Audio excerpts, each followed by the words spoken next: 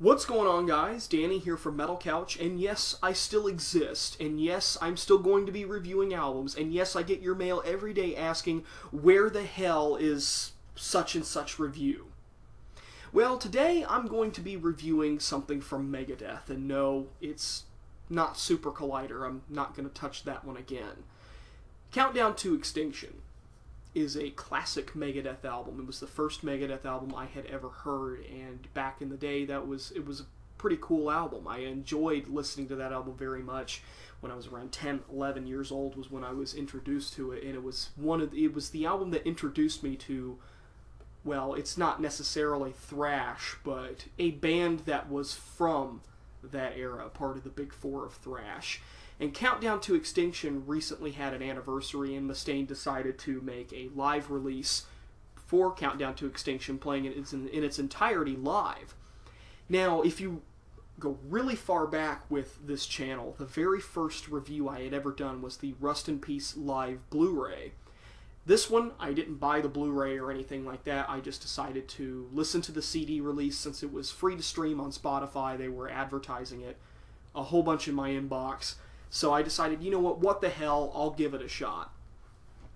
Now, something to note about this live release, and I remember reading this probably about a month ago, how Mustaine, due to his voice and his age, they've had to start detuning their guitars down to D. Which, no biggie there. Metallica's been doing it for years to accommodate Hetfield's voice, so I didn't really think that this would be that big of an issue when it came to live recordings or anything like that. Countdown to Extinction Live is the first officially released live album which features this setup, and I have to say, when it comes to the quality of this live recording, other than Mustaine's voice, which you can, which for the longest time now we've been able to notice is becoming increasingly weak,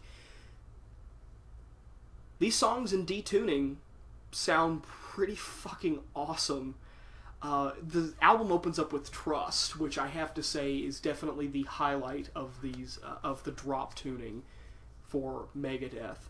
I didn't exactly know what to make. It was almost like listening to somebody on YouTube with very high quality equipment deciding to put their own take on a Megadeth song, but you know, of course, putting it in D.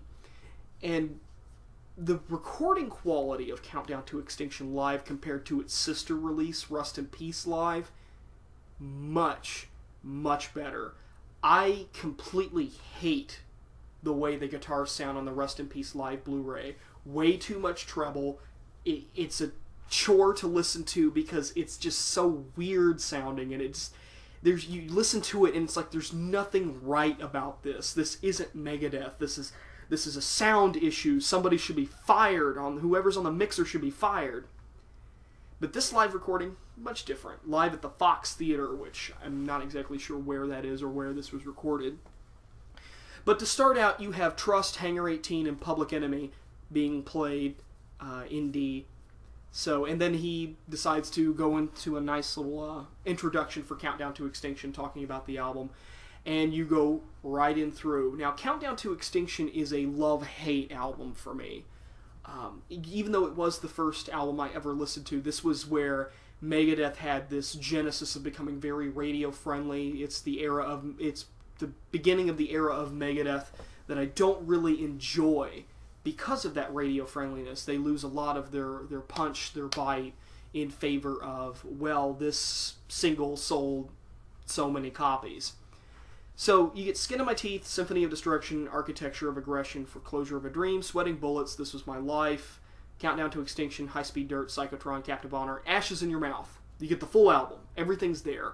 Some of the highlights when it comes to the, this live recording in particular, uh, this is a very nice rendition of Skin of My Teeth. Definitely one of the better ones that I've heard over the years definitely check that one out. It's better than the Big Four. It, it, I think I don't even think that was on the Rust in Peace Blu-ray, but it was better than the version that was played at the Big Four for sure. Psychotron is one of my favorite songs off of the album, really highlighted there. High Speed Dirt too. Even though there are some notes within that song in the original recording which require a very high pitched voice, Mustaine still pulls it off, surprisingly, with High Speed Dirt. Captive Honor being played. I don't think I've ever heard that song played live until now, which is another one of those good songs. And then you have Ashes in Your Mouth, which is hands down my favorite track off of the album being played. And then to close out the live performance, you have uh, She Wolf, Peace Sells, and Holy Wars, typical songs that Megadeth would play on their way out. How is this live recording compared to others? It's better than the Rust in Peace Blu ray, but I find that when you go back to, say, Blood in the Water or Rude Awakening, not so much that one night. That one night is another one of those things where it's like the guitars sound really weird. I don't quite understand why they were mixed that way, but it's enjoyable. If you love Countdown to Extinction, you will probably like this live record. Uh, I know that I enjoyed it, and after the abomination that was Super Collider, I think this was something that I had to listen to in order to go, okay, I, I need something to cleanse the palate when it comes to Megadeth, and this pulled it off nicely. This countdown to extinction. I, really kind of want to look at the live video now just to see how well that was shot. But when it comes to the CD itself, I really enjoyed this release. If I were to give it a score, I would probably give it an 8 out of 10. It's pretty good. Um, nothing really to comment on when it comes to the quality of the audio. Mostly it's just due to the fact that the band has aged you know, Mustaine's in his 50s now. Who knows how long he's going to be doing this, even though he's already talking about making another album.